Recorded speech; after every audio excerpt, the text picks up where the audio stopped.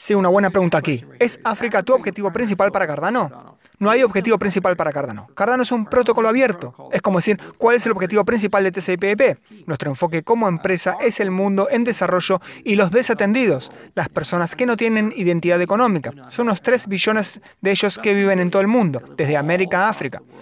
Ciertamente hay más de ellos en África de los que hay en los Estados Unidos, pero esta reciente crisis financiera ha creado millones de personas en la pobreza que ya no tienen cuentas bancarias o acceso a suficientes servicios financieros.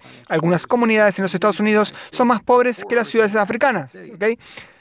Así que es un estereotipo decir que África está desamparada y América es fuerte. No es cierto. Todo es una cuestión de... depende. Así que nosotros nos enfocamos en aquellos que no tienen una identidad económica y trabajamos con ellos para tratar de crear una.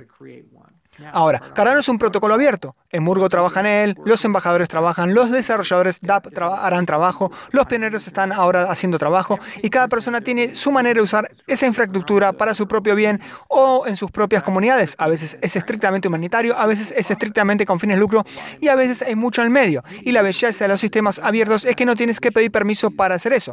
Solo lo utilizas y mi trabajo es hacerlo tan útil como sea posible y tu trabajo es usarlo para hacer cosas.